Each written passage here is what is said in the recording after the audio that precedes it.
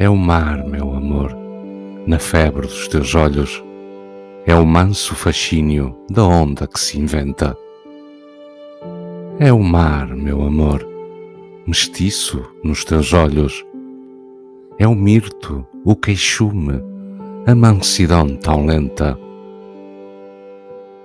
É o mar, meu amor, o lastro dos sentidos que afogas nos olhos sem nunca te afundares.